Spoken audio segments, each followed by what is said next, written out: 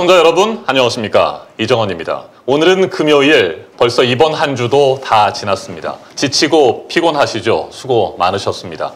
이정원의 허니 라이브를 시작한 지 어느덧 2주가 지났습니다. 달콤한 세상, 달콤한 정치, 달콤한 삶을 꿈꾸면서 늘 좋은 이야기만 하고 싶은데 그게 참 쉽지 않습니다. 위로와 평안을 드리고 싶은데 윤석열 검사 독재 정권의 현실을 결코 외면할 수가 없습니다. 더불어민주당 이재명 대표는 오늘 검찰에 세 번째 출두했습니다. 그리고 윤석열 대통령의 부인 김건희 씨가 연루된 도이치모터스 주가 조작 사건에 대해 법원은 손방망이 처벌로 1심 선고를 내렸습니다. 오늘도 역시 답답한 하루였습니다. 이정원의 허니 라이브 그 열 번째 방송 지금부터 시작합니다.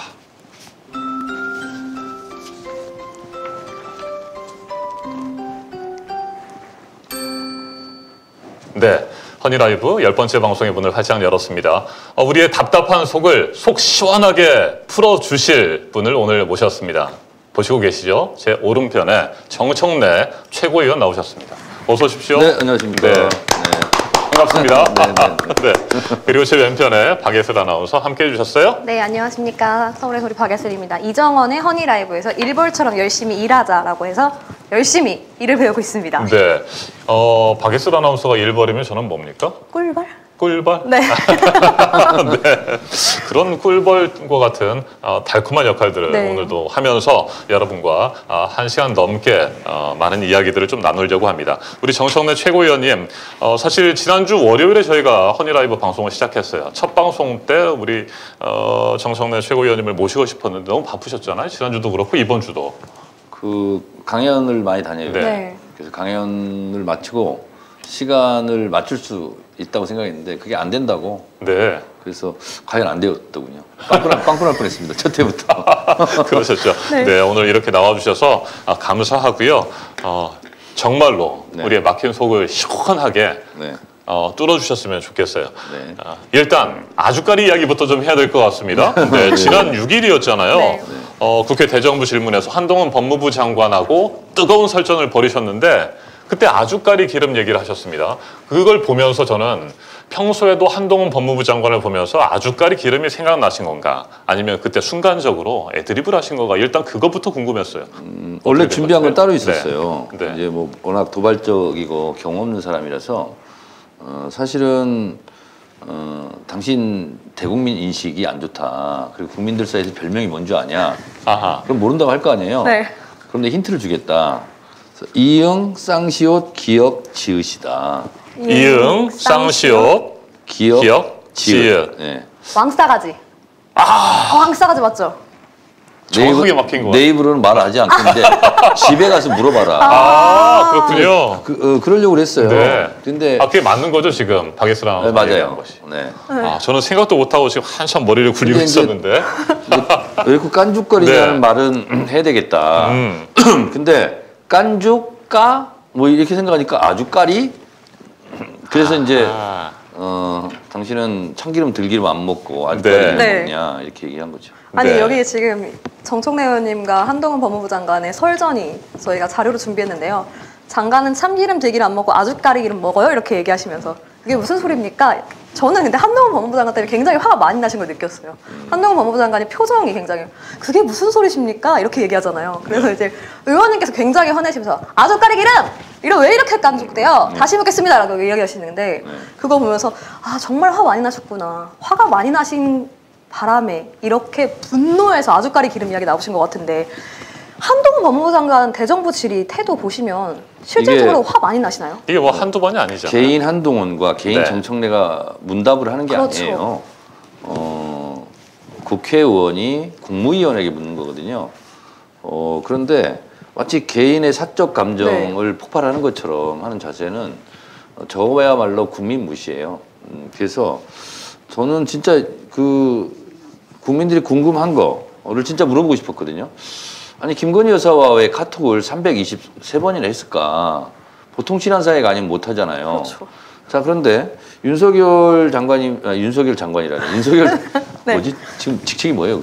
아 헷갈리시죠? 네, 윤석열 당시 총장 네. 이 연락이 안 그렇게 안 되는 사람이었나? 그럼 그동안 뭐 하고 있었을까? 뭐 술 먹거나 뭐 뭐 딴짓 한 목욕탕에 있나? 그 그래서 자꾸 연락이 안 돼서 서로 주고받았나 이런 것도 이제 했지만 네. 그 이명수 기자 7시간 녹취록에 뭐 있으면 제보를 나한테 해라. 그럼 한동훈한테 전달하겠다. 그럼 사적인 대화를 카톡에서 한 건 아니잖아요. 그거에 비춰보면. 그러면 공적인 걸 했느냐. 이렇게 여러 가지 질문을 진행하려고 그랬는데, 어, 그냥 깐죽거리기만 하고. 그래서 이제 그거는 네. 이제 박성준 의원이 대신 물어봐줬어요. 네. 그 이후에. 한 17분 가량의 또 예. 대화가 오고 갔습니다. 근데 진짜 제, 진짜 제가 어, 하고 싶었던 말은 뭐 아주까리 이런 게 아니에요 사실은 그걸로 그냥 아주까리 기름으로 그냥 다 발라버렸더라고. 네. 근데 원래는 이거였어요. 어 당신이 이재명이 이겼으면 사건 뭉갰을 거냐. 그렇다면 윤석열이 대선에 이겼으니까 윤석열이 안에 사건을 다 뭉개고 있는 거냐. 이거를 사실은 제가 일, 1번으로 물고, 묻고 싶었어요. 도이치모터스 주가 조작 의혹과 네. 관련해서 학력 경력. 부풀리기. 네. 어 그리고 논문 표절. 근데 학- 학력 경력은 범행을 자백했지 않습니까 대선 때 부풀리기 위해서 아, 잘 보이기 위해서 부풀렸다. 네. 조작했다는 얘기잖아요. 사실과 다르게 쓴 거고. 근데 이제 윤석열 같은 경우는 그게 사실이다는 식으로 얘기를 했다면 윤석열도 허위사실 유포가 되는 거고 주가 조작 사건 같은 경우는 어, 손실이 나서 손절했다. 근데 그 이후로도 계속 어 대화를 주고받은 문자 메시지나 이런 게 나오지 않습니까?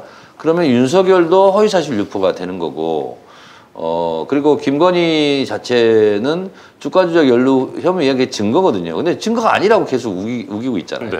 그래서 허위 사실 유포 아니냐 네. 이렇게 질의를 하니까 어, 정확하게 알지 못한다라고 얘기했고 본인이 어, 잘 못, 네. 모르는 거죠. 아니면 알고서도 우기는 거거- 음. 거거나. 또 불리한 것은 그냥 모른다고 하거나 뭐 이런 상황인 것 같습니다. 그렇게 시원하게 어, 어록에 남을 만한 이야기들을 많이 하시는데 평소에 아 이런 상황에서 난 이렇게 속 시원한 사이다 발언을 해야 되겠다라고 준비를 하십니까? 아니면 그런 건 정말 거의- 애드립으로 하세요? 거의 없어요. 거의 없습니다. 네. 애드립이라고 보시면 되고 제가 그래서 이, 이게 이제 대정부 질문 한 거거든요. 네. 아, 네. 그래서 저는 아. 원고를 안 써요 저는. 아, 원고를 안 쓰고 이렇게 그냥 메모를 합니다. 그냥 이렇게 보면서 이거 아 이거 이거 뭐 메모 이렇게 메모를 하거든요. 이렇게, 이렇게 보시면 알겠지만 네. 그래서 어 저희 의원실에는 음, 전문용어로 쪽사가 없습니다. 의원님 인사 말씀 쓰는 네. 그냥 어디 가나 그냥 제가 그냥 알아서 현장 분위기에 맞게 하는데 뭐 사람들이 잘 안 믿기는 하지만 실제로 그렇습니다.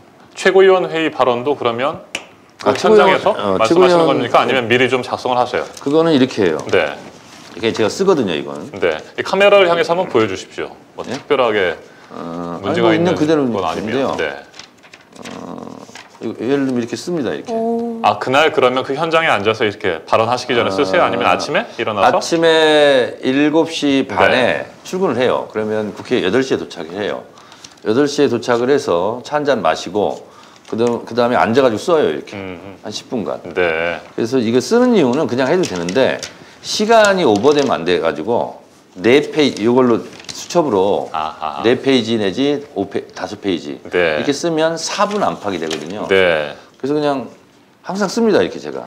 어, 근데 의원님 항상 최고위원 발언하실 때 보면 다른 의원님들보다 비유도 굉장히 잘하시고 윤석열 정부에 대한 조롱 희화화를 굉장히 재밌게 유쾌하게 해주세요. 그런 아이디어의 원천은 도대체 어디서 나시는 건지 궁금합니다. 아니 그냥 아침에 8시부터 써요 내가 이렇게 네. 볼펜으로 수첩에 어 근데 이제 아마 이런 것 같아요 그 글을 많이 써봐야 되거든요 네. 어 글쓰기를 하다 보면 생각이 정리가 되고 한 번 썼던 표현을 제가 다시 꺼내서 쓰는 겁니다 저도 모르게 재활용도 하시고 그래서 저는 또 새롭게 각색도 하시고. 어, 말하는 것은 머리로 기억하지 않고 혀로 기억하는 거죠 그냥 순간 나오는 거죠 네. 머리로 기억해서 혀로 나오는 것은 어, 시간이 좀 걸리잖아요 근데 혀는 바로바로 나오잖아요 근데 그건 아무나 가능한 것은 아닌 것 같고 아무나 가능합니다. 그 탤런트가 있- 있으신 것 아니 같고요. 이 탤런트하고 네. 관계 없고 많이 쓰면 돼요. 네. 제가 초중고 때 문예반만 했고요. 대학 때 학부사 했고요. 그리고 20대 말 30대 초에 정치 광고에서 카피라이터 했었고. 아, 카피라이터를 하셨군요. 네. 네. 그리고 이해가 갑니다 이제. 그리고 글쓰기를 많이 하고 그리고 모든 그런 SNS 글은 다 제가 다 쓰고 그렇게 하거든요. 그러니까 어디선가 이 각도에서 한 번은 써봤을 거니까 바로 혀로 나오죠. 아하. 그러면서도 어, 남들과 좀 다른 특유의 위트와 유머가 있는 것은 사실인 것 같습니다. 제가 보기에도요. 그 가끔 이제 우리 정청래 최고위원 말씀하시는 거구나 아니면 뭐 특강 같은 것들을 저도 현장에서 어, 듣고 또 보는 경우들이 있는데 깜짝깜짝 놀랄 정도로 굉장히 연설을 편안하게 시작하잖아요. 저는 십남매 중에 막내입니다. 제 고향은 뭐 충남 금산입니다. 뭐 이런 식으로 시작하면서 결국에는 결론에는 이재명 대표님을 지켜주십시오. 함께 해주십시오라고 하는 어, 결론에 이르는 그 과정들을 보면은 굉장히 그 어, 문장의 뭐 연결이라든지 말씀하시는 그 진행 과정들이 부드럽고 자연스러워요. 그 너무 칭찬하니까 기분 나빠요. 아니 그런데 이정원 앵커님은 네. 개인적으로 정청래 의원님한테 이 위트와 유머 있는 센스를 조금 한번 강의 받으셔야 될 것 같아요. 아 정말? 네. 아니 근데 저는 제가 저를 칭찬해야 되는데 남이 칭찬하니까 기분이 살짝 나쁩니다. 내가 칭찬 나를 칭찬할 시간을 안 주고 본인이 다 해버리네. 아, 제가 보기에 옆에서 그랬습니다. 어, 그래서 제가 오늘 어, 정 의원님을 모시기 전에 그 동안에 어떤 말씀들을 하셨는지 어록을 좀 이렇게 찾아봤어요. 네. 근데 최근에 굉장히 또 기억에 남는 말씀들이 많더라고요. 일단 가장 가깝게는 지난 2월 1일에 어, 한동훈 베리 스튜피드 그 발언 하셨잖아요. 네. 이건 어떤 대목에서 나오는 얘기입니까? 어 그게 바로 그거였어요. 네. 어 이재명 대선 이겼으면 음, 사건 뭉갰을 건가? 딱 걸렸다. very stupid. 그럼 윤석열이 대선 이겼으니 아내의 주가 조작 의혹, 논문 표절 의혹, 합격력 부풀리기 이거 다 뭉개고 있는 거냐? 어, 그 thank you 한동훈, very stupid 이렇게 얘기했죠. 네. 그러면서 또 김건희 수사는 왜 안 하느냐? The question of the people. 그렇죠. 영어. 강사를 하셨잖아요. 아 제가 국민의 질문. 아, 제가 the 2년간 people. 영어의 네. 몸이었습니다. 영어의 몸에서. 네. 목포 교수 출신입니다. 네. 그래서 어, 나오셔서 몸 자체가 영어예요. 예. 오. 영어의, 영어의 몸이었으니까 2년간. 그래서 영어의 시간을 끝내고 네. 영어 강사를 하셨던 겁니까? 어, 그렇습니다. 네. 영어 강사도 네. 네. 하고 싶어 한 게 아니에요. 아, 그 얘기 좀 재밌게 좀 해줘보세요. 그 이제 학원을 이제 차렸는데 이제 우리 재수 동기 네. 세 명이 모였어요. 네. 근데 한 친구가 수학하겠다고, 한 친구가 국어하겠다고, 그럼 내가 영어 하겠다. 국영수 학원이네요. 그렇죠. 보습학원. 네. 그랬었죠. 네. 근데 이제 어 그런 생각을 했었어요. 감옥에 있을 때 어, 제가 이제 91년도 이제 7월 16일 날 이제 만기 출소했는데 그 전에 나가면 뭐 하지? 이런 생각을 했었어요. 아하. 근데 그때 강기훈 유서대필 사건이 있었어요. 네. 근데 강기훈 씨 뭐 여자친구인지 누군지 면회를 다니는지 누가 있었어요. 근데 어, 25 중점 중점이 중요합니다. 네. 밑에 찍는 게 아니라 가운데 찍는 점을 네. 중점이라고 그래요. 속세먹은 강사 이렇게 돼 있어요. 속세먹은 강사 뭐지? 그래서 알아보니까 오후에 출근해도 되겠더라고. 어, 그러면 오전에 뭐 활동을 하고 오후에는 그러면 학원 강사를 한번 해볼까 이런 생각을 했었어요. 근데 어, 감옥에 있으면서 직업을 한 200개를 생각을 했었거든요.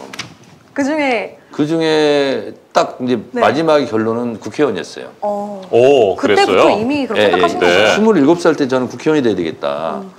그런 생각을 했고, 어, 그러면 국회의원이 되려면 그 생활을 뭘로 하지? 일단 시작은 그러면 학원 강사로 하자.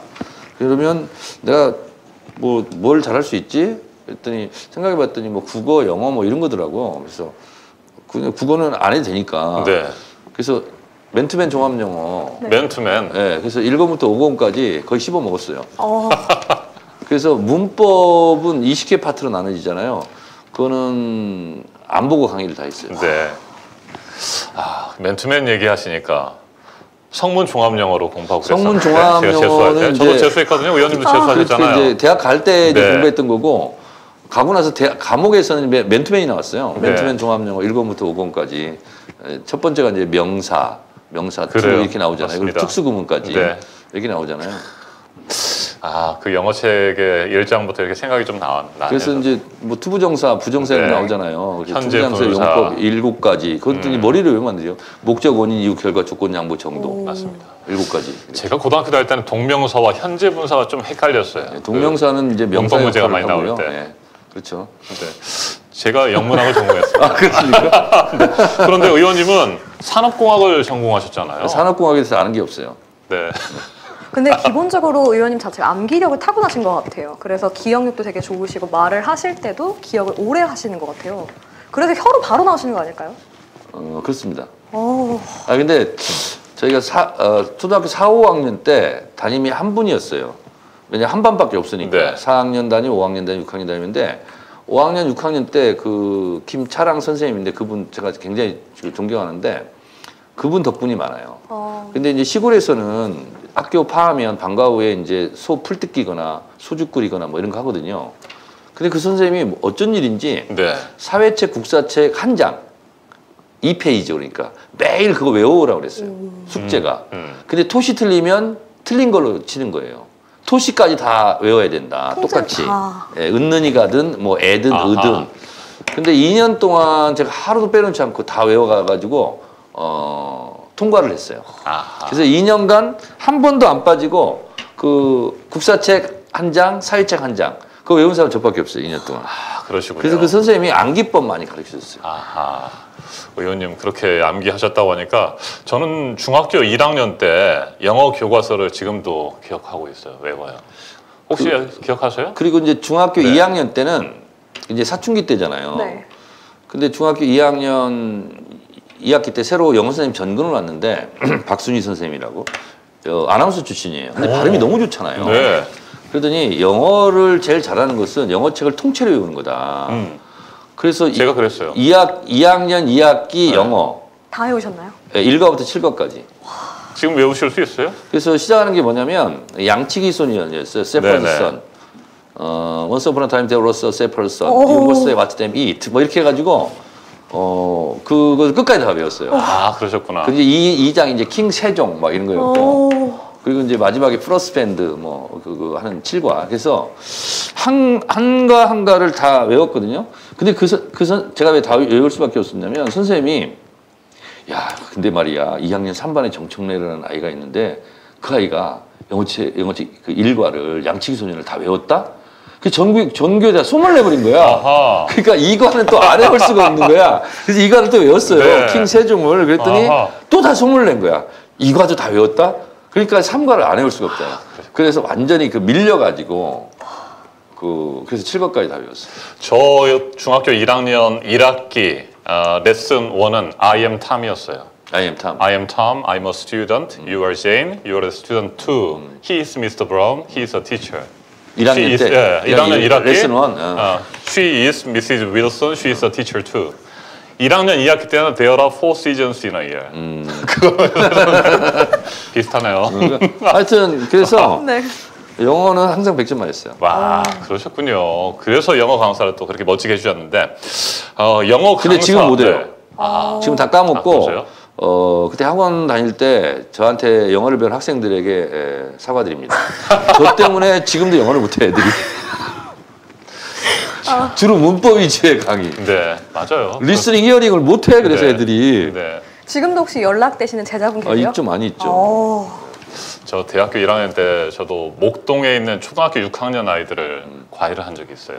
걔들 지금 영어 못하죠. 영어하고 그 수학을 했는데 아마 못할지도 모르겠어요. 뭐 그 친구들도 지금 한 3, 40대가 됐을 테니까 나이가. 어. 그때 참 저는 했었는데. 제가 가장 나이 많은 제 제자들이 지금 48살입니다. 와. 제가 29살 때 시작했을 때 네. 고3이 19살이었거든요. 오. 10살 차이 저랑. 네, 알겠습니다. 정청래 의원님하고 어, 이렇게 재미있는 이야기들만 해도 뭐한 시간 두 시간 네. 훌쩍 흘러갈 것 같습니다. 재미있는 이야기는 잠시 후에 또 어, 다른 얘기들 좀 하고 이어가도록 하고요. 일단 이재명 대표님의 오늘 어, 서울중앙지검 2차 출두에 대해서 좀 말씀을 좀 듣겠습니다. 어, 이재명 대표님이 어, 홀로 가시겠다. 어, 변호인 한 명만 데리고 가겠다라고 말씀하셨고 실제로 저도 오늘 서울중앙지검에 저는 가봤습니다. 가봤는데 어, 다른 의원들도 안 오셨고 우리 정 최고위원께서도 같이 가지는 않으셨죠? 음, 이게 이제 음, 성남 지청에 네. 할 때는 제가 가야 된다. 의원들 다 많이 나가야 된다. 이제 나갔어요. 그랬더니 바로 뭐 나오는 의원 안 나오는 건데 나오는 의원을 욕하고 있는 거야. 안 나오는 의원한테 뭐라고 해야지. 그랬더니 이제 네. 이재명 대표가 그게 상당히 좀 언짢았나 봐요. 언론에서 갈라치기 하고 막 이러는 게. 아, 그 이제 두 번째 서울지검 나갈 때도 나오지 말라고 그랬어요. 근데 어, 제가 최고위원들한테 그래도 나가야 된다 우리는 지도부만 나가자 그러면 가- 가- 간결하게 네. 그래서 이제 거의 다 나갔죠. 근데 이번에는 정말 나오지 말라는 거예요. 그래서 어, 제가 오늘 최고위원 모두 발언에 이재명 대표는 오늘 나홀로 출석합니다. 어. 라고 얘기했죠. 네. 어, 우리 지도부는 국회에서 배웅하겠습니다. 그래서 진짜 아무도 안 나가게 했어요. 네.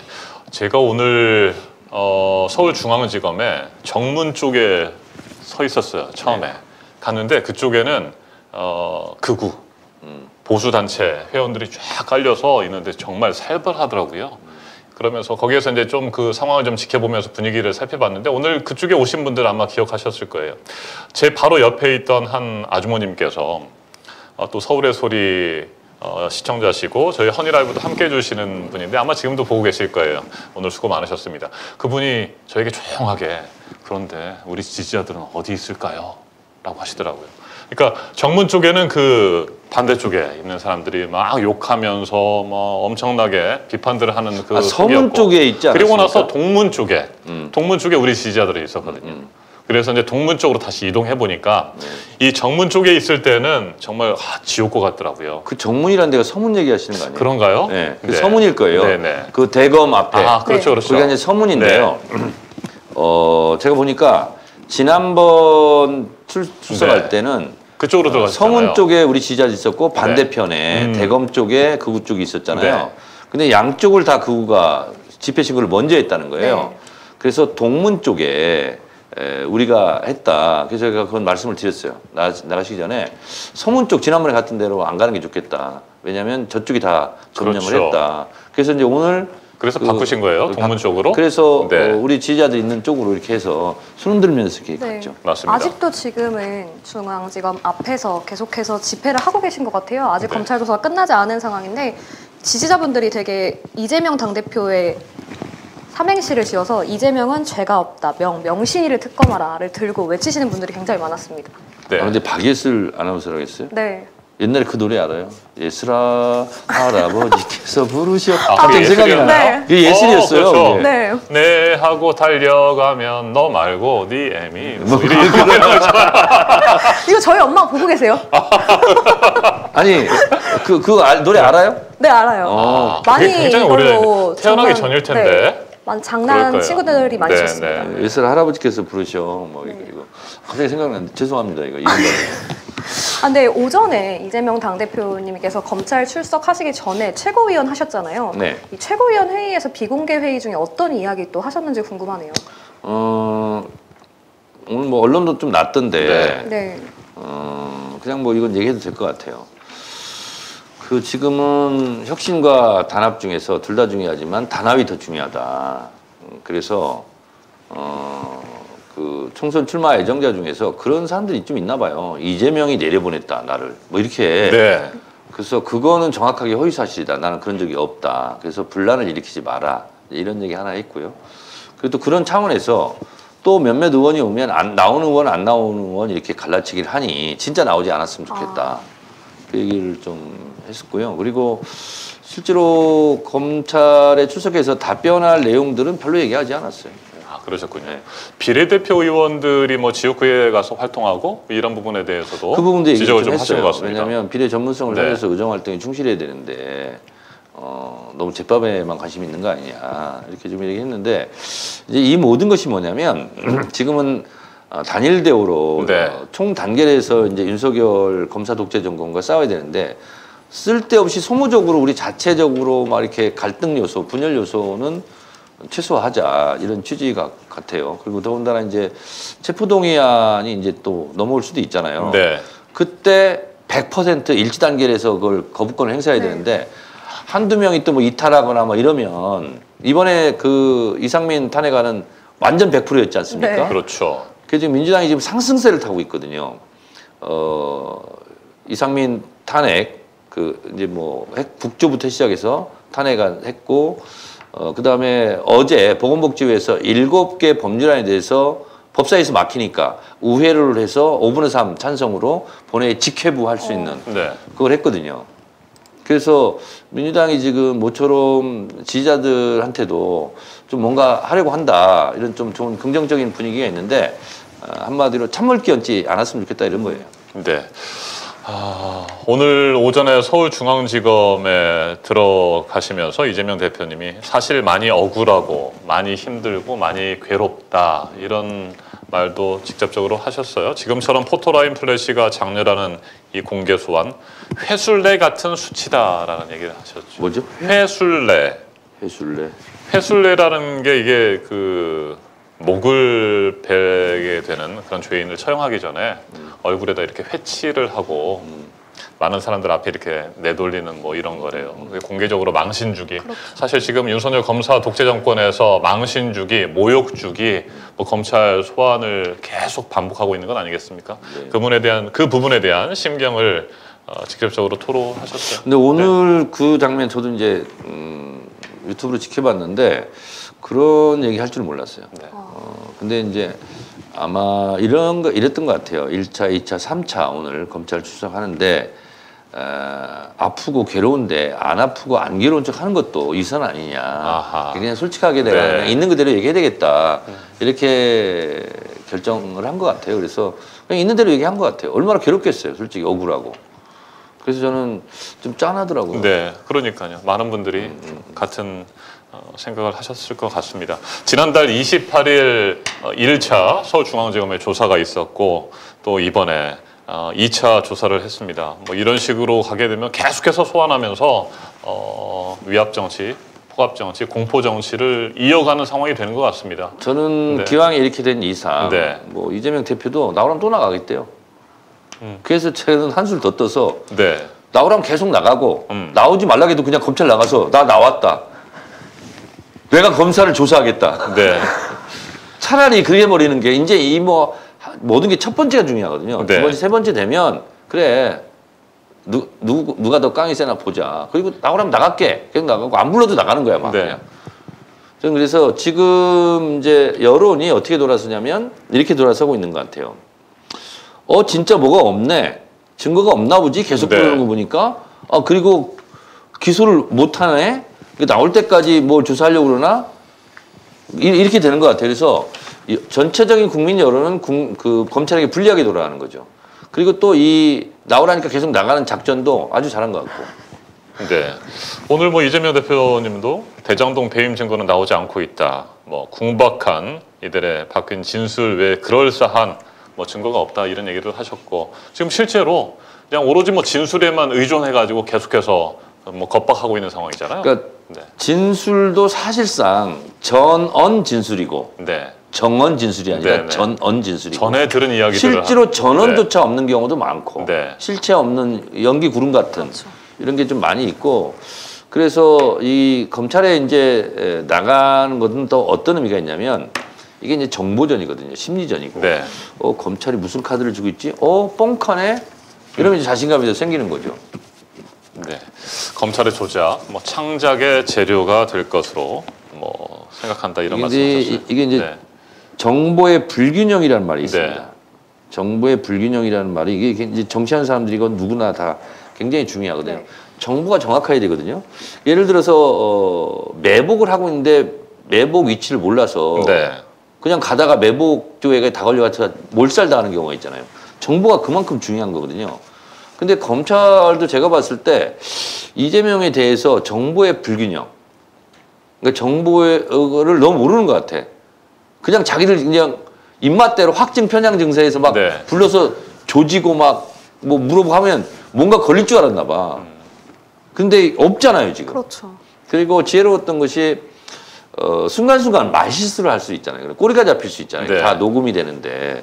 그래서 진술서를 미리 써가지고 썼다는 것은 뭐 그거에 가지고 진술을 가름한다 이런 의미도 있지만 한번 사건을 내, 내 사건이지만 한번 네네. 정리해보는 그런 의미도 있죠. 네.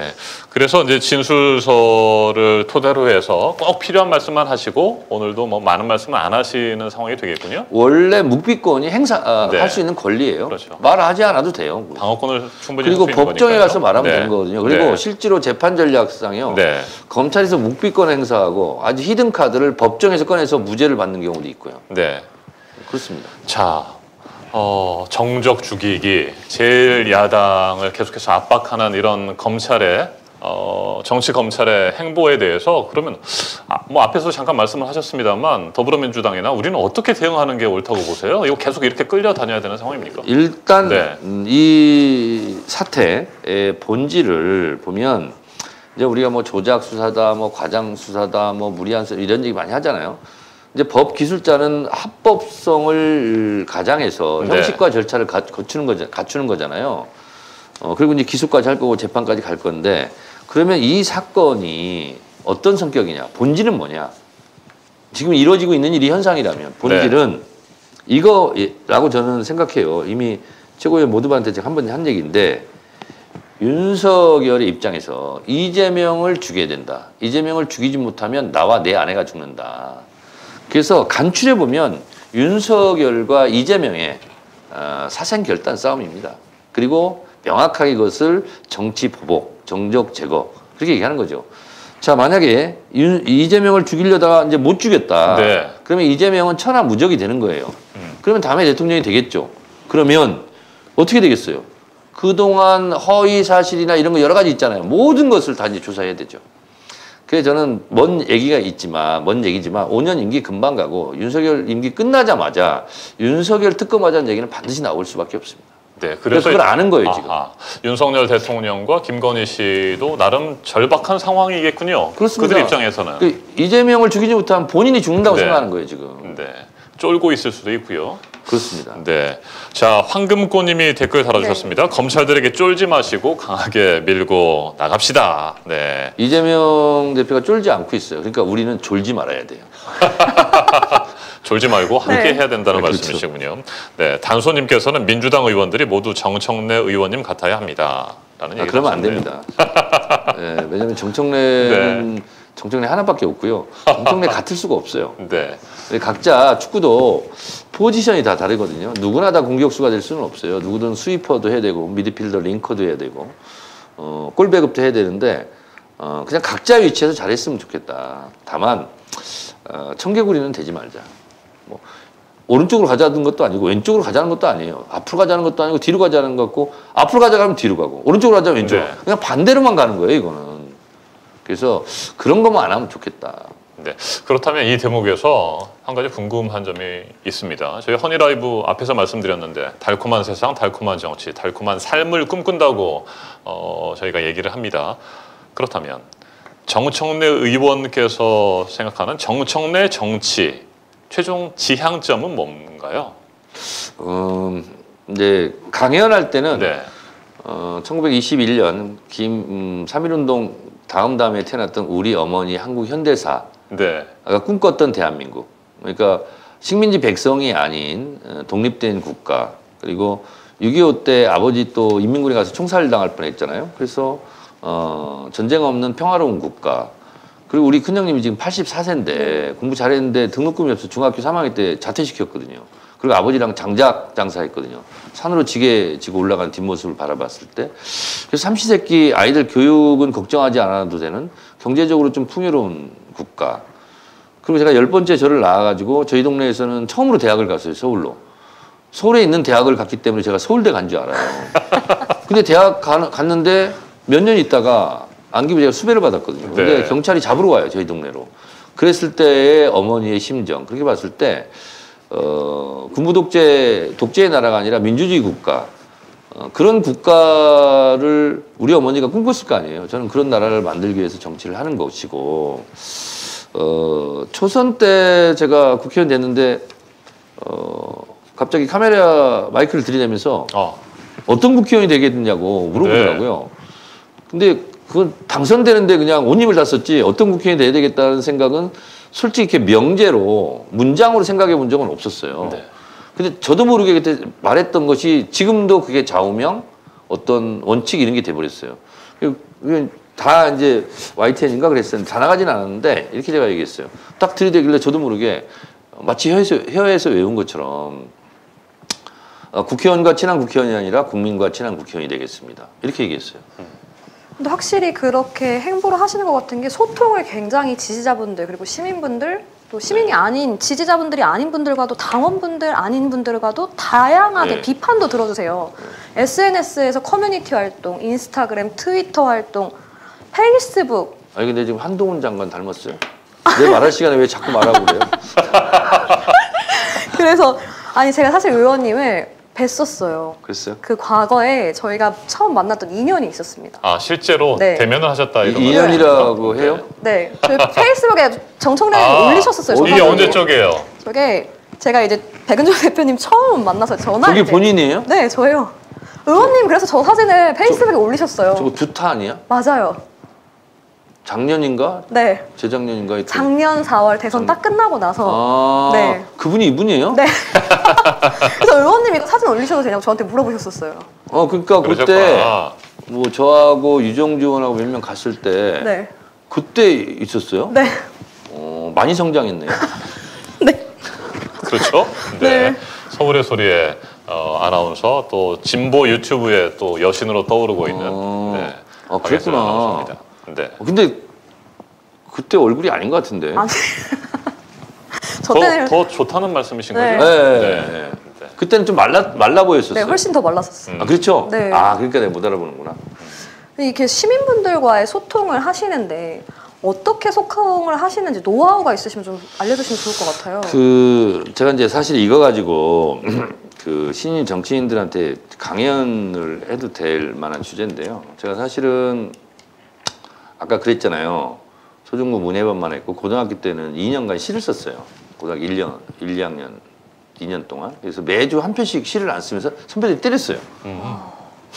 그래서 아, 시안 쓴다고 때린 사람들이 어디 있어 도대체. 그랬는데 그 감옥에 있을 때도 편지를 제가 매일 썼어요. 네. 그래서 글 쓰는 게 이제 되는데 사실은 이 인터넷 음, 생활이 제가 시작 2001년도 오마이뉴스 시민 기자로부터 출발했거든요. 그러면 기사를 쓰면 인걸 기사라고 아직 채택되지 않았지만 이글이글 타오르는 상태. 그럼 댓글이 나오잖아요. 댓글을 보기 시작했어요. 그래서 인터넷 소통을 그때 시작한 거예요. 그리고 나서 2001년도부터 시민 기자는 계속했고 그다음에 노사모 게시판 네. 그 다음에 정치 웹진 서프라이즈 거기서 활동을 했었고 인터넷 논객으로 그리고 다음 아고라 그 다음에 어, 트위터, 페이스북 그리고 팟캐스트 그 다음에 유튜브 이렇게 이제 진화되어 오잖아요. 그래서 한 20년간 거기서 맨 앞자리에 있었던 것 같아요. 네. 지금 방금 화면에도 나왔습니다. 딴지의 밤, 뭐 정식 콘서트, 뭐 이런 토크 콘서트 이런 것도 많이 참여를 하시고, 네. 자, 뭐 감옥 얘기를 좀 하셨어요. 징역 2년을 선고받고 말 그대로 영어의 몸이 되셨었는데 근데 대학생 시절에 주한 미국 대사관을 불법 점거하셨잖아요. 그러니까 그 고등학교 때부터 정치라든지 우리 사회, 뭐 우리 대한민국의 현실에 대해서 많이 고뇌하고 어 그렇게 생각을 하시다가 대학교 때 주한 미국 대사관을 불법 점거하는데 함께 동참을 하신 거잖아요. 예, 그때부터 사실은 뭐 정치에 대한 생각들을 구체화하고 행동하기 시작했다 이렇게 보면 됩니까? 그러니까 저는 고등학교 때까지는 반공소년이었어요. 아, 반공 웅변, 웅변대 제가 원고 네. 써주고 막 그랬어요. 네. 무찌르자 공산당, 네. 때려잡자 그렇죠. 김일성 막 이렇게. 그런데 공산당이 싫어요. 음, 그렇죠. 네. 근데 이제 대학교 1학년 들어갔을 때 제가 세 가지 목표가 있었어요. 첫 번째는 과대표를 해야지. 두 번째 학부사 기자를 해야지. 그때 문무대라고 있었어요. 네. 전방 입소. 네. 2학년은 전방 입소, 1학년은 문무대. 거기가 중대장 해야지. 세 개를 다 했어요. 그때까지만 아무 생각이 없이 아무 생각이 없었어요. 근데 학부사 하면서 사회과학 서적을 읽으면서 완전히 예, 바뀌었어요, 제가. 아하. 그래서 어 그러면서 대학 2학년 때 너무 혼란스러웠어요. 네. 근데 한, 한 손에 이제 그 학부사 기자니까 취재 수첩을 들고 한 손엔 돌을 들고 전경들이 맞쓰는데 돌을 2학년 때 한 번도 못 던졌어요. 왜 못 던졌냐? 너 왜 같은 또래 친구인 네. 정경에게 돌을 던져 했을 때 두 시간 있다, 이상 동안 설명할 자신이 없더라고. 그래서 2학년을 마치고서 확신이 들고 3학년 때 학부사를 나왔어요. 어, 직접 일선에서 네. 학생 운동을 해야 되겠다. 그래서 4학년 때 교통특기장 하다가 안기부 수배받고 안기부 끌려가서 어, 팬티바람으로 눈 수건으로 가리고 4시간 고문 폭행당하고 징역사유고 나왔다가 다시 미 대사관저 점거 가고 이제 이렇게 했었어요. 어 그런데 저희가 이제 미 대사관저 들어갈 때는 사실 대사관이 아니라 대사관저거든요. 네. 그레그 미 대사가 살았던 네. 집, 그 덕수궁 뒤에 경향신문 앞에 저는 무기징역 생각하고 들어갔어요 사실은. 예, 근데 제가 2년밖에 안 받아가지고 막 휘파람 불면서 목포교수로 이관 가고 막 그랬는데 어, 그때는 지금이라면 못하겠죠. 근데 그때는 어, 내가 할 수 있는 게 이것밖에 없다면 이거라도 해야 된다. 어, 미 대사관 저 들어갔던 이유가 뭐냐면 지금으로 치면 한미 FTA 뭐 이런 거예요. 농축산물 수입 개방 음, 절대 개방하지 마라. 우루과이 라운드 어, 우루과이 하는데 이후거든요. 이후에. 슈퍼 네. 301조. 그래서 노태우 대통령이 10월 15일 날 미국을 가요. 이틀 전에 우리가 미 대사관절을 쳐들어간 거예요. 점거한 거예요. 음, 그러니까 미 국무부에서 논평도 나왔어요. 대학생들이 한때 점거를 했다고 하여 한미 관계가 아, 나빠지진 않는다. 뭐 이런 뭐 국무부 논평도 나오고 굉장히 큰 사건이었죠. 네. 두렵지 않으셨는지 궁금합니다. 두려웠죠. 달달달 떨면서 갔어요, 사실은. 건국대학교에서 우리가 또 면허 있는 사람이 하나도 없어요. 그 렌트를 했는데 운전면허 며칠 다닌 애가 있다고 그래가지고 걔가 운전하고 갔어요. 가가지고 차 대고 차 지붕 들고 이제 올- 올라갔는데 아 그러면 차 지붕으로 해서 담을 넘은 네. 거죠. 네. 네. 그 이제 뭐 나름 떨림도 있으셨겠습니다만 어떤 엄청 두려웠어요. 네, 그 두려움과 함께 정치적인 소신을 가지고 정 의원님께서는 그때는 정치적 소신도 아니었어요. 아니고. 그냥 네. 어뭐 거의 민족 해방 투쟁 뭐 이런 거였으니까 아, 근데 그렇게 하시면서도 어머님 얘기를 그동안 많이 하셨는데 어머님의 얼굴이 좀 떠오르고 뭐 그 마음 아파하실 걸 생각하면 미안하다 죄송하다 이런 생각도 좀 드셨습니까? 아 그런 거 너무 힘들었어요. 우리 어머니가 또 어떻게 하면 이거 뭐 알면 어떡하지 막 이런 이런 생각이 왜 없었겠어요. 근데 서울에 있는 애들보다 시골에 있는 애들이 학생 운동을 끝까지 하는 가능성이 많아요. 어, 엄마가 모르니까 아빠가 모르니까. 근데 서울에 있는 친구들은 체류탄 막 맞고 가면 금방 네, 알잖아요. 그렇죠. 시- 전문용어로 뽀록 나잖아요. 네. 근데 우리는 그럴 염려가 없잖아. 네. 그래서 집에 안 들어가도 부모님이 모르고. 근데 이제 나중에 다 알게 됐는데 근데 뭐 저희 TV를 통해서 어머니가 알게 되셨다는 말씀도 그 TV MBC 네. 뉴스에 그 톱뉴스로 나왔는데 형수님이 가서 뉴스를 껐어요 다. 아하. 충격받을까 봐 왜냐면 미이라처럼 나왔거든요. 정경 방패에 찍혀가지고 여기 열 반을 꼬매고 이게 붕대 감고 뉴스에 나오니까. 근데 이제 명절 때 안 가니까 제가 못 가니까 이제 우리 둘째 형수님한테 얘기해서 서울구치 면회를 오셨죠. 근데 이제 제가 2년간 옥중투쟁위원장이었어요. 네. 거기서도 가만히 있지 않죠 이게 이제 옥중투쟁위원회 위원장 어머니가 오셨으니까 서울구치소장이 이제 특별 면회를 아. 허락한 거예요. 그래서 이제 특별 면회 하고 한 시간 이제 손잡고 하는 건데 네. 55분간 어머니가 이제 우시기만 하시고 그랬더니 교도관이 적을 게 없잖아요. 그러니까 음. 어머니 어, 무슨 말씀이라도 하셔, 하셔야 돼요. 5분 남았어요. 그러니까 우리 어머니가 어, 막내야 삼시세끼는 꼬박꼬박 챙겨 먹어라. 나 간다. 그리고 이제 보안과 앞마당 걸어가셨는데 그게 마지막 걷는 모습이었어요. 3일 후에 쓰러지셨으니까. 아, 그리고 이제 쓰러지 그때 쓰러지시고 6년 동안 이제 못 걸으셨죠. 그리고 돌아가셨지. 아유 그러셨군요. 그 돌아 쓰셔서 걸어가시는 모습이 지금도 생생하시겠네요. 가 생생하죠. 마지막 모습이니까 정상적으로 걷는. 아이고. 예, 그, 네. 그 그것도 생각나요. 어머니 그 걸치고 왔던 세타 그리고 치마 그리고 이제 굽 높은 굽 터진 그 있잖아요. 그거 이렇게 이렇게 이렇게 비쩍비쩍 이제 걷고 가시는데 가장 인상적 이게 잊혀지지가 않아요. 뭐냐면 보안과 철문이거든요. 철문이 이렇게 있으면 손잡이가 있어요. 그래서 자꾸 이제 밀고 나가는 건데 잠깐 잡고 잠깐 망설이시더라고. 뒤를 돌아볼까 말까. 아. 그러다가 안 돌아보시고 그냥 나가셨거든. 그래서 그게 이제 걷는 모습 마지막이었는데 음, 3일 후에 도라지 밭에서 쓰러지셨다고. 6개월 후에 알았어요, 그것도. 6개월 후에. 목포길 이관 가서 이제 또 옥중 투쟁위원장 하면서 이제 슬기로운 깜빵 생활을 하고 있는데 우리 네 살 많은 형님이 결혼식 청첩장을 보내온 거예요. 근데 너 나오면 결혼식을 하려고 좀 일어났었는데 2년 후까지는 못 기다리겠다는 거지. 근데 결혼을 하겠다 그렇게 알고 있었는데 어, 그, 그 청첩장까지는 좋았는데 어머니가 못 걸으신다. 너 면회하고 가서 3일 후에 도라지 옆에서 쓰러지셨다. 어, 매일같이 걷게 해달라고 우신다. 뭐 이런 거 있잖아요. 그 그래서 너 나올 날만을 기다린다. 뭐 이- 이런 내용이죠. 그래서 어 뭐 살면서 많은 어려움과 힘든 게 많이 있는데 예, 정신적으로 좀 많이 그런 때는 힘들어요. 그렇게 힘드셨고 또 어머님도 얼마나 마음이 아프시고 힘드셨겠어요. 그럼에도 불구하고 그 상황이 다시 온다면 그때처럼 담장을 넘어서 불법 점거하고 그 나이 때 네, 그런 일이? 있으면 또할 네. 것 같고요. 네. 음, 근데 우리 어머니 아버지가 감사한 게 우리 어머니 아버지는 잘 모르세요. 사실은 정치나 이런 거를. 그렇지만 저한테 너 왜 학생 운동을 해?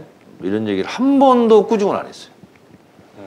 꾸중을 안 하고 뭐라고 얘기했냐면 앞에 서지 마라.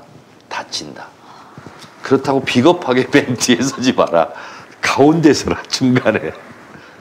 그, 그 얘기는 계속 하셨어요. 그래서 뭐 데모를 하지 마라 이런 얘기도 안 했고, 어, 근데 이제 앞에 서면 다치니까. 그리고 뒤에 서면 그건 사람이 할 짓이 아니다. 네. 비겁하다. 그러니까 항상 중간에 서라 이렇게 얘기를 했지, 중간에서. 근데 혼나진 않았어요, 한 번도. 네. 옥중태유쟁 위원장 활동을 하시면서 더욱더 정치를 해야겠다라는 생각을 또 하신 계기도 됐을 것 같아요. 어, 이제 학생 운동을 할 때는 이제 그런 걸 생각을 안 하죠. 뭘 할 건지. 네. 근데 오히려 이제 부모님들은 이제 너 취직 못 한다, 빨간 줄 오른다, 이제 그렇게 하잖아요. 네. 근데 이제 감옥 생활을 하면서 여러 가지 이제 에, 이렇게 사색과 사유를 하게 되잖아요. 앞으로 무엇을 할 것인가. 그 책도 많이 읽게 되고. 어, 근데 저는 계기는 강경대 열사 사건이었어요. 음. 강경대 열사가 명지대 학생이었는데 명지대 앞에서 어, 시위를 하다가 정경의 쇠파이프에 머리를 맞고 맞아서 죽습니다. 어, 그래서 그, 그 사, 사진이 지금도 예, 그래서 떠오릅니다. 네. 그 강경대 사건이 있고 나서 어, 제가 생생하게 기억합니다. 감옥에서 있었는데 어, 전남대학교 용봉 교지 편집장인 박성희 열사가 또 분신자살합니다. 그다음에 경원대학교 지금 가천대죠. 천세영 학생이 또 휘발길 묻고 또 분신자살합니다. 그리고 김귀정 열사라고 성균관대 있었고요. 그리고 한, 한 10명 가까이 그 분신으로 항거하고 막 이런 거 보면서 저도 사실은 어, 5학년 때 어, 죽을 생각도 했었고 농촌 네? 시골 생활이 너무 힘들어가지고 5학년 때. 아 정말요? 네. 그냥 그 단순한 이유가 진짜 이재명 농촌 생활이 힘들다. 네. 5학년 5월 5일 날이 오 어린이날이잖아요. 나 하루 종일 일을 했어요. 어린이날에. 예, 왜냐면 어, 제가 이제 축구 조직위원장이었거든요. 내일 이제 세계 팀으로 만들어서 어, 축구하기로 하고 내가 조직위원장 심판도 하고 내가 주전 선수를 뛰고 내가 거의 뭐 메시였는데 그 이제 애들한테 다 조직하고 다 나오라고 했는데 아버지가 안 된다는 거예요. 한약 중에 부자라고 있어요. 부자 걸음 많이 들어가는 거. 우리 앞 산이 한 400m 높이 되는데 그 산을 넘어서 걸음을 내야 되는 거예요. 푸세식 변소 그 두엉을. 네, 네. 하루 종일 그걸 지어 날른 거예요. 5학년짜리가. 애들은 축구하는 소리 들리지. 그래서 저녁도 안 먹고 옛날에 그 청산가리라고 있었습니다. 어이구, 어이구 위험한 거죠. 예. 그, 꽁, 네. 그, 하고 막 그런데, 아, 이거 먹고 죽어야 되겠다. 근데 마침 없더라고.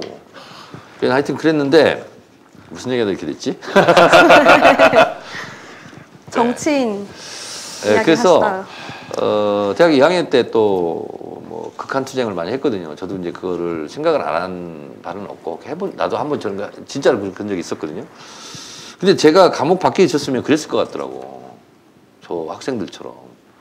근데 난 감옥에 있어서 오히려 그런 생각이 들더라고. 그래서 그런 생각이 들었어요. 아, 동전, 삶과 죽음이 동전의 양면처럼 붙어 다니는구나. 음.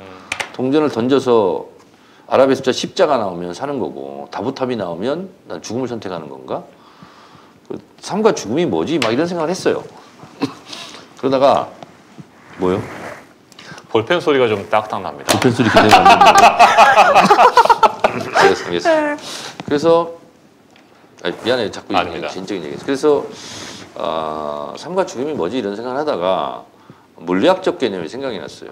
왜냐하면 나는 이 1.04평에서 네 발짝만 걸으면 더 이상 걸을 수 없- 없는데 이 공간은 얼마나 넓을까? 그래서 대한민국을 벌써 지구를 떠나서 태양계를 떠나서 은하계를 떠는데 이 공간의 개념이 무한대예요.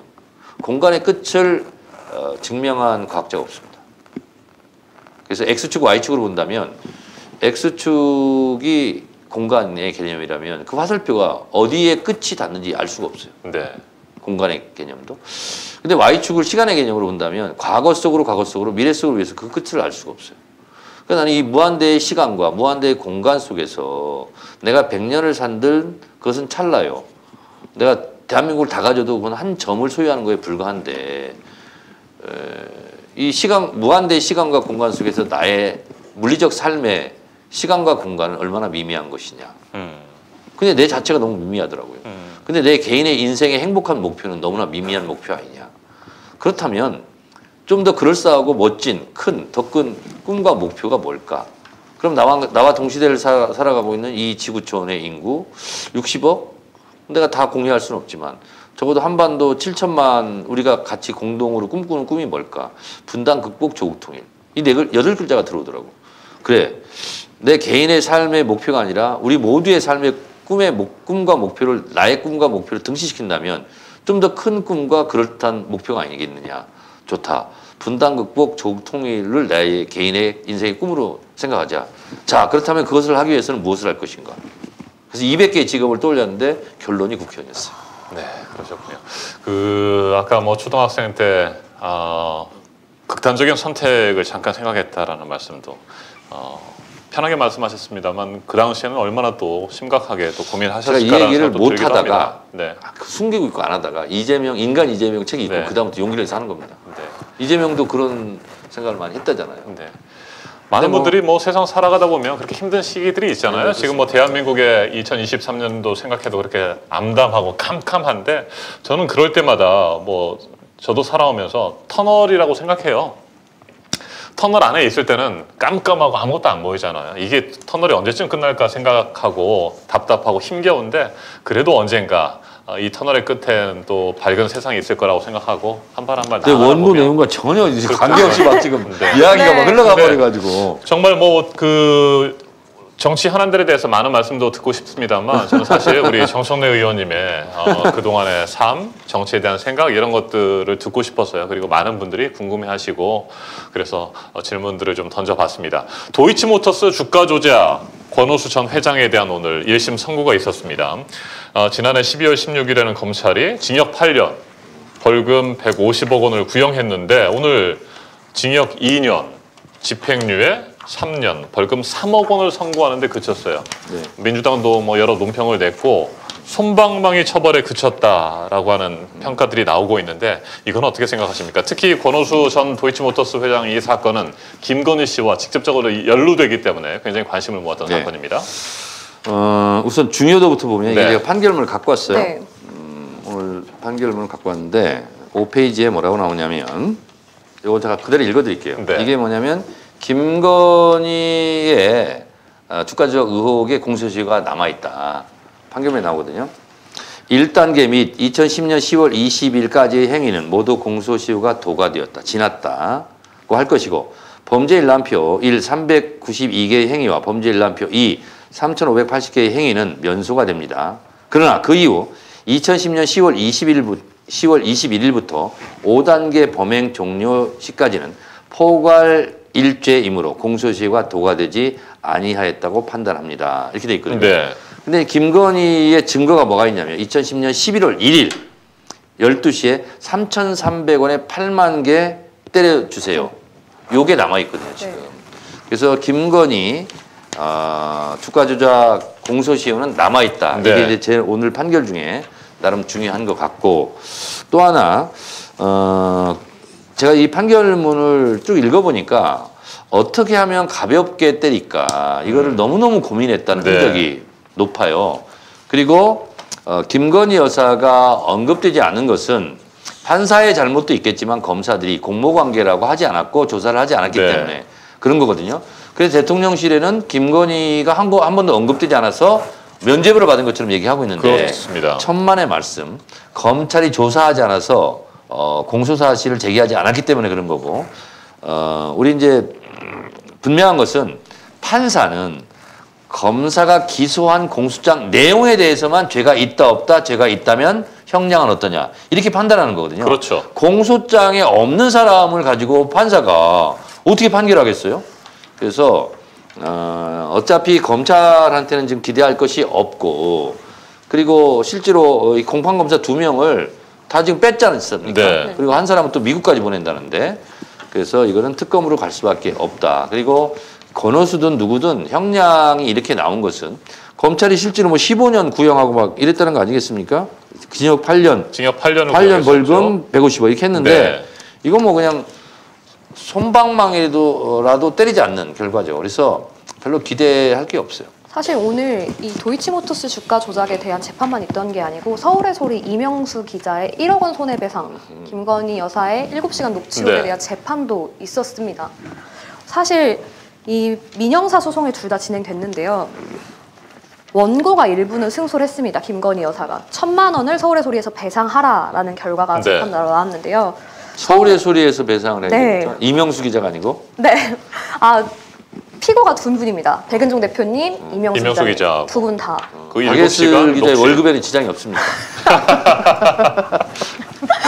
그래서 근데 오히려 백은종 대표님은 서울의 소리 원고 김건희 측의 10%의 승소지만 사실상 원고의 90% 패소다라고 기뻐하시고 계십니다. 음, 그래서 앞으로 계속해서 고등법원, 대법원까지 가서 패소를 하더라도 변호사 비용에 대한 부분을 원고에게 다 받아내겠다. 그 네. 서울의 소리 백은종 대표하고 저하고 개인적 인연이 있습니다. 네, 알고 있어요? 아니요. 몰라요? 저는 네. 이야기 들었어요. 그 분신하셨잖아요. 네. 그제 옆에서 하셨고요. 그 현장에 아, 그리고 제 후배들이? 껐어요. 네. 그리고 제 의정 활동 그날이 뭐냐면 제가 경선에서 공천 받은 날이에요.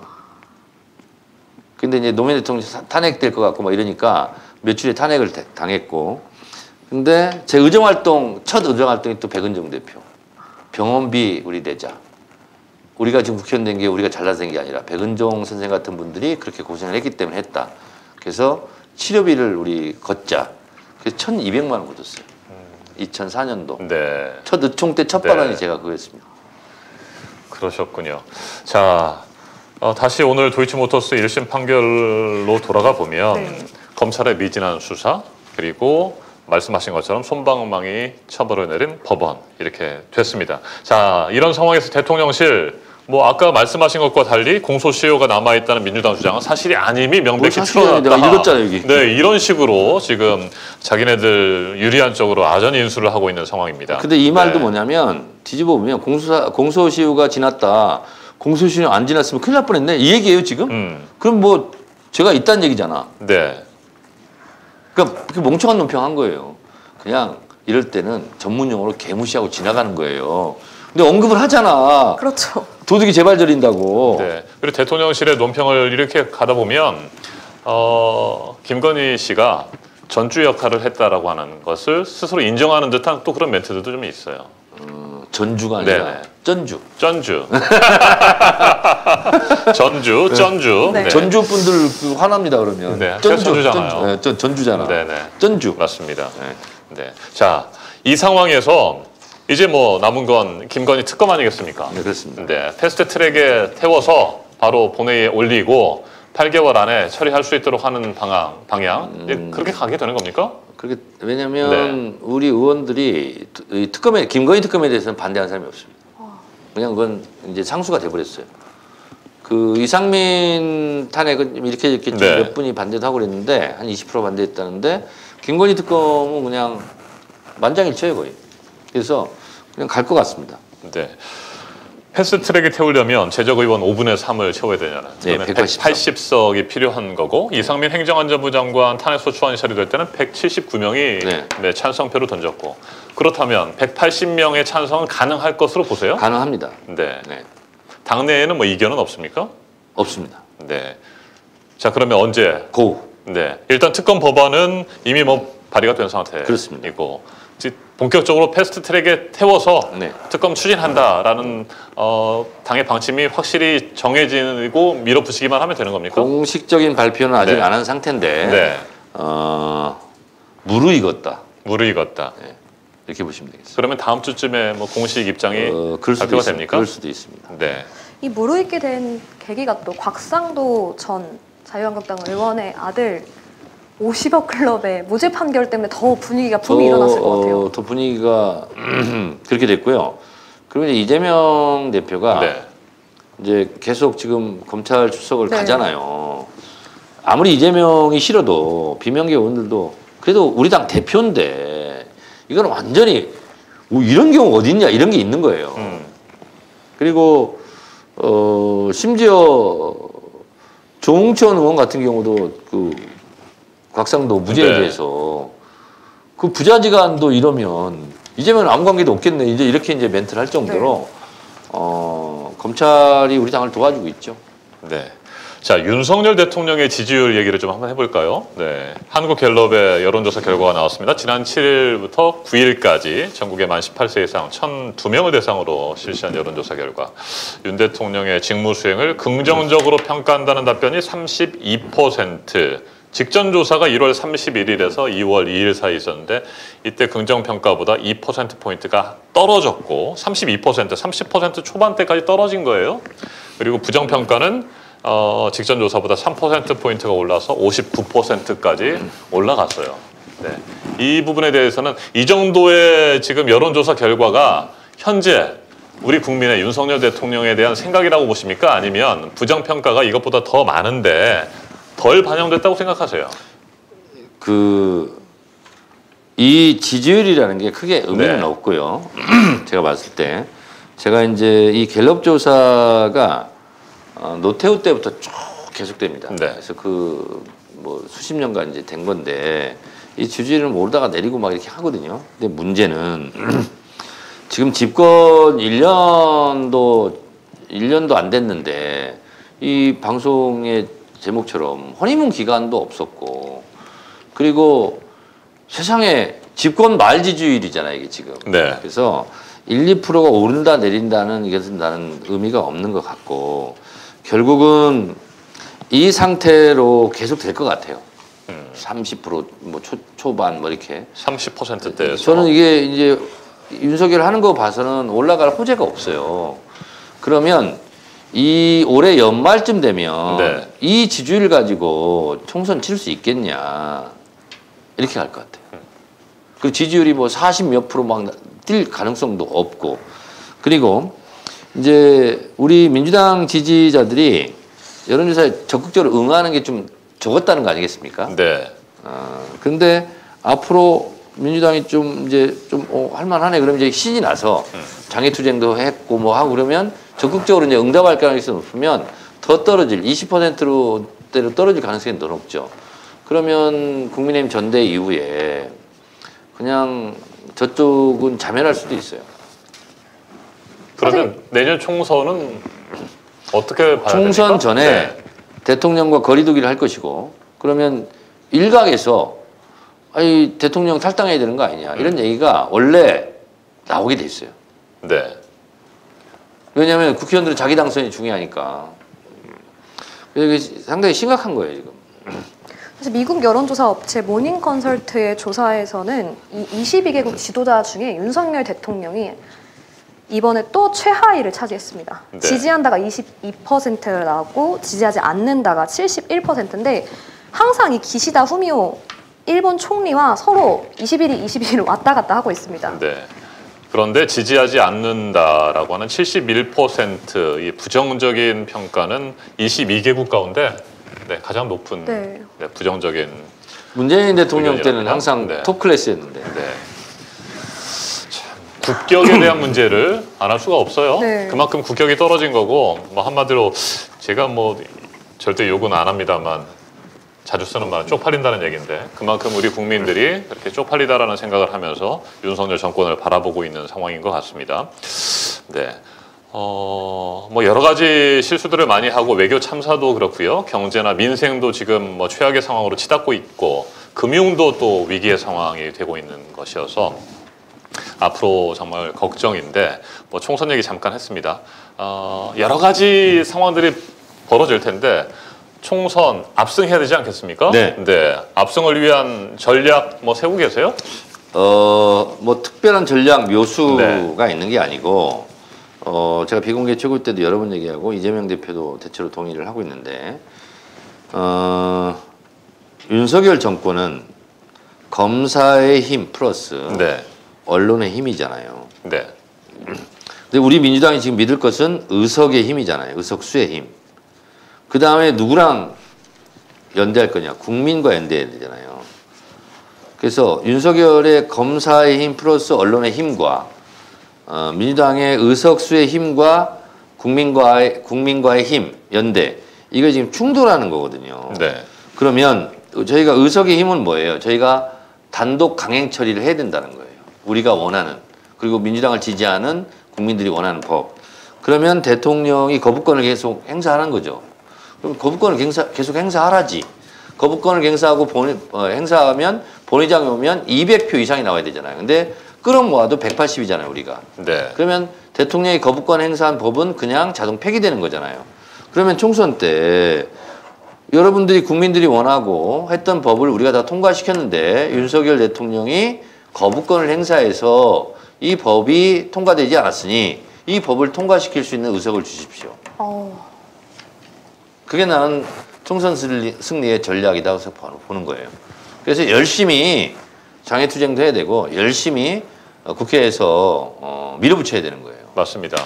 더 강한 민주당, 이기는 민주당을 만들어야 되고요. 그래서 이상민 행정안전부 장관의 탄핵 소추안이 어, 헌법재판소에서 어떤 판결이 내려질 것이냐, 뭐 이런 우려나 역풍에 대한 얘기하지 말고 어, 해야 할 일은 강하게 밀어붙여주기를 많은 국민들이 근데 원했던 거 저는 아니겠습니까? 이렇게 생각해요. 네. 응? 오늘 일을 다 하고 또 내일이 오면 내일 일을 하면 되는 거예요. 그리고 때로는 운명이 맡길 수도 있고 저는 헌재에서 탄핵이 될 거라고 보지만 설령 되지 않으면 헌재마저 윤석열이 장하겠어? 이렇게 가면 되는 거고 그렇잖아요. 네. 아니 법원마저 지금 곽상도 50억 이거 무죄 때렸어? 이렇게 가면 되는 거 상황에 맞게 하면 되는 거예요. 그래서 너무 후폭풍 걱정하지 말자. 그래서 제가 평소에 이렇게 기획합니다. 어, 지금 건투 선수 중에서 8체급을 석권한 어, 복싱 영웅 네. 파키아오라고 있습니다. 네. 필리핀에 네. 여덟 8체급 석권했고 대통령 선거에도 나오고 뭐 그러는데 파키아오가요 많이 맞아요. 근데 한 대 더 때리는 거예요. 맞을 걸 생각하면 링에 올라가지 그렇죠. 말아야지. 네. 내가 한, 한 대도 안 맞고 어떻게 케어를 시키나. 나도 맞아가면서 한 대 더 때려서 이기는 거거든요. 음. 그래서 지금 훅폭풍 걱정해서 하지 말자는 것은 건투 선수가 링에 올라가지 않겠다. 난 한 대도 안 맞겠다. 이런 거하고 똑같은 거거든요. 네. 아니 그 이정원 그 아나운서예요, 기자예요. 기자 출신 앵커죠? 기자 기자 출신 앵커죠. 네. 아니 그러면 뭐 뉴스 진행하잖아요. 네. 한 마디도 안 하고 어떻게 월급 받아요? 말을 하다 보면 실수할 수도 있는 거지. 난 실수할까봐 그냥 가만히 있을래. 이러면 안 되잖아. 실수한 적 있죠. 생방송 중에. 생방송 중에 어, 생방송 하다가 실수하는 경우들이 있죠. 네. 아 저도 실수하는 경우 있어요. 네. 아 근데 실수를 두려워서 뭘 네. 하지 말자. 이러면 되겠습니까? 맞습니다. 박예슬 우리 아나운서도 촛불 집회 이런 거 할 때 막 말하더구만. 네. 근데 가끔 말이 꼬이더구만. 네. 근데 말이 꼬일 거니까 나는 말하지 않을래. 그럼 되겠어요? 안 되죠. 안 되죠. 그래서 더 강한 민주당 싸워라 승리하자 SK님께서 그런 글을 올려주셨습니다. 아, 유동준님께서는 정청래 의원님 도이치모터스 사건 특검해야 합니다. 네. 아, 나로 말할 것 같으면이라는 닉네임을 쓰시네요. 난 이분이 참 믿음직스럽다. 네. 다들 그렇게 응원해주고 계십니다. 네. 음. 아, 유희근 님께서는 남자분이신데 정청래 의원님 사랑합니다. 네. 사랑은 좀 자제해 주시고요. 네. 사실 정청래 의원님 MBTI가 굉장히 궁금했어요. 아하. 요즘에는 혈액형을 물어보기보다는 MBTI를 네. 많이 물어보는데 이정원 앵커님은 MBTI 어떻게 되시나요? 뭘 것 같아요? 의외로 음. ISTJ형일 것 같아요. 그 뭐예요? 설명 좀 해줘 보세요. 이 E와 I의 차이는 음. 외향적이냐, 음. I는 내향적이냐고, 네. S와 N의 차이는 감각적이냐, 직관적이냐. 음. 그럼 뭐예요? 그러면 내향적이고, 내향적이다, 네, 음. 감각적이고, 감각적이다. 네. 그리고 T는 사고, 음. 그리고 F는 감정인데 제가 봤을 때는 사고형이신 것 같아요. 옆에서 본 결과. 감정적이신 분은 아닌 것 같아요. 아 절반은 맞고 절반은 틀린 것 같습니다. 네. 그리고 J는 판단, 그리고 P는 인식인데요. 네. 판단형이신 것 같아요. 그래서 ISTJ는 청렴 결백한 논리주의자, 현실주의자로 나오거든요. 그래서 그건 좀 맞는 것 같아. 네. 근데 이제 제가 뭐 어떤 형이냐는 중요하지 않은 것 같고 현재로서는 우리 정청래 최고위원님은 어떨 보세요?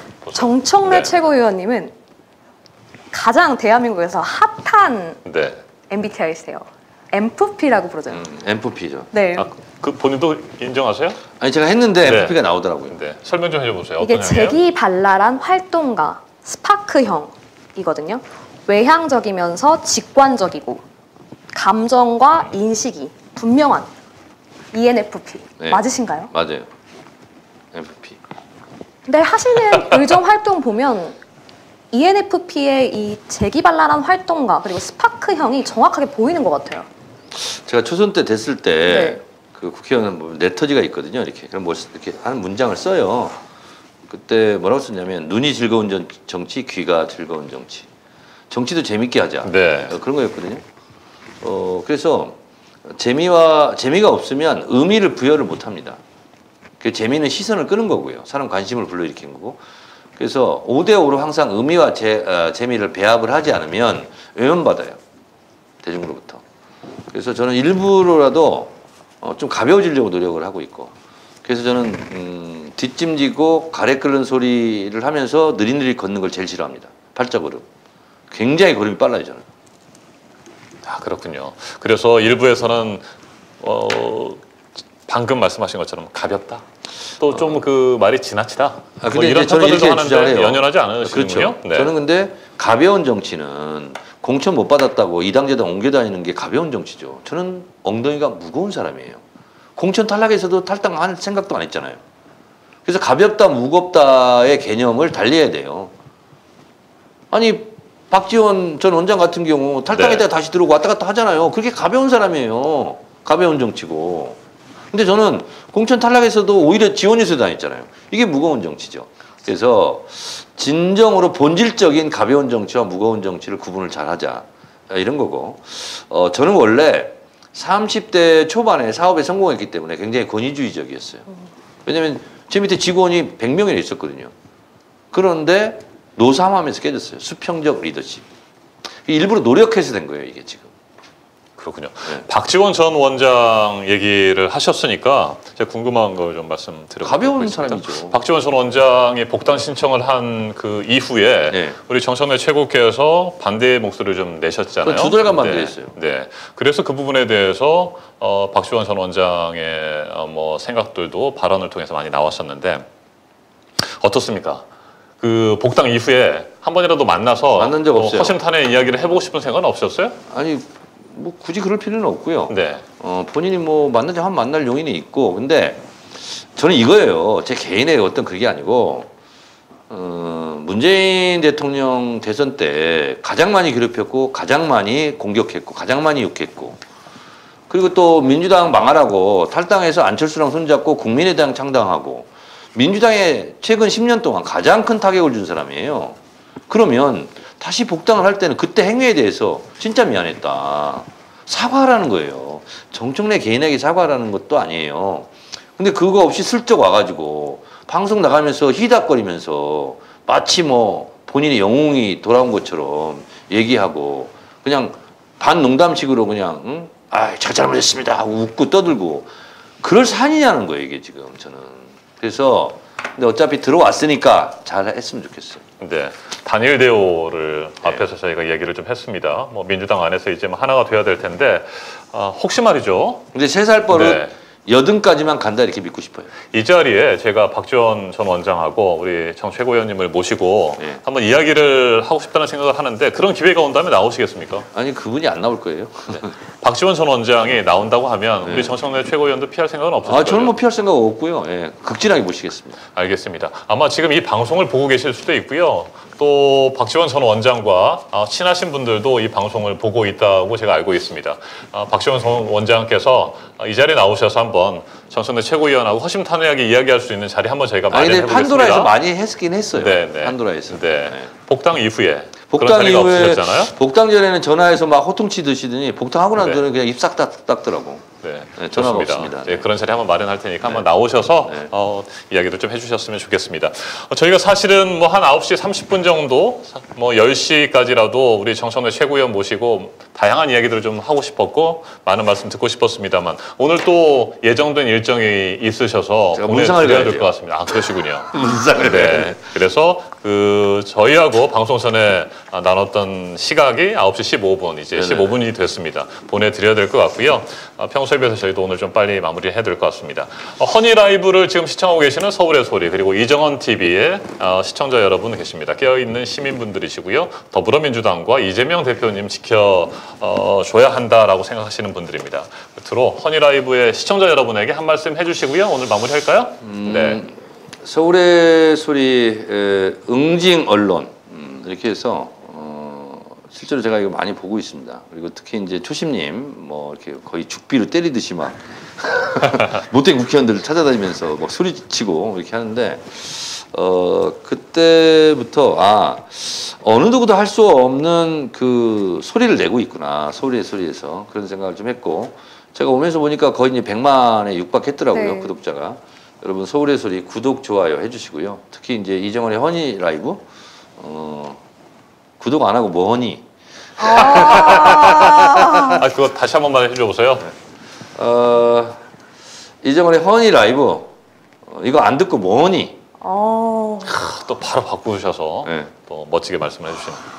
네, 자 여러분 들으셨죠? 어, 서울의 소리 시청자 여러분 그리고 또 정청래 의원님을 사랑하시고 또 응원해 주시는 어, 여러분께서 이 방송 끝나고 말이죠 이정원 TV 가셔서 구독, 좋아요, 알림 설정 좀 아, 해주시기 이정원 바랍니다. TV도 있습니까? 이정원 네. TV에서 동시에 생중계가 아, 되고 아, 있습니다. 그렇습니까? 네, 오늘 정청래 의원님 나오시니까 네. 서울의 소리도 그렇고 어, 이정원 TV의 동시 접촉자 수도 평소에 비해서 한 두세 배는 되는 것아 같습니다. 그렇습니까? 아, 근데 정청래 나오시니까 이정원 앵커님이 좀 웃으시네요. 그래서 제가 생각한 건데 이 자주 나오셔야 될 것 같아요. 네. 사실 굉장히 이정원 앵커님께서 무게감이 있으셔서 제가 이렇게 장난을 치거나 개그를 해도 이정원 앵커 잘못 받아주시거든요. 근데 제가 그렇게 항상 재미없고 뭐 딱딱하고 무거운 사람이라고 생각하시면 아니고 저 굉장히 재밌는 사람이고 네. 근데 앞으로 더 노력하겠습니다. 어, 자주라는 것은 네. 영어로 이제 그 횟수를 얘기할 때 응? 어, often, 네. O F E N, often. 근데 발음을 잘 못해요. F하고 P 발음을 잘 O 못해요. F T E N. 네. 네. often 이거는 네. 이제 자주. usual이라는 게 또 있어요. 응? always라는 게 있고 또 네. 어. anytime 음.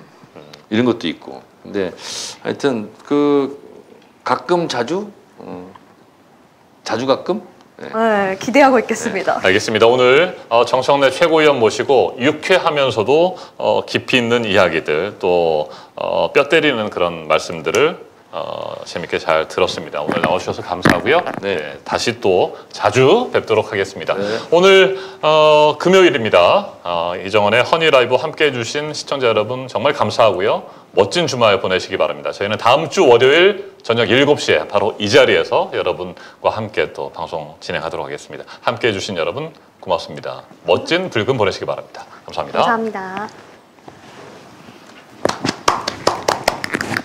감사합니다. 네, 말씀 잘 들었습니다. 네.